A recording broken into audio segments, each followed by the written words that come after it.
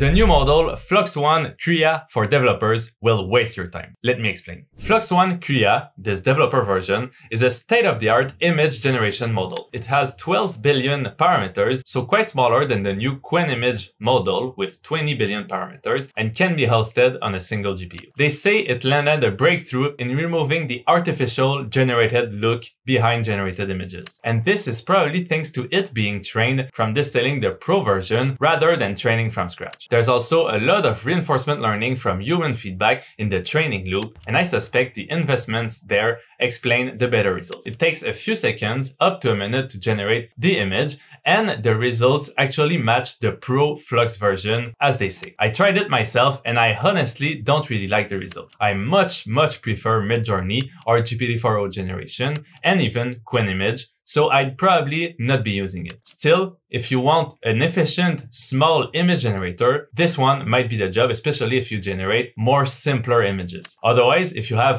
more budget, like one or two GPUs, I'd consider trying Qwen-Image instead. Let me know if you use it and if you like the results. I'm Louis-François, co-founder and CTO of Towards AI, and follow me for tomorrow's No BS Roundup.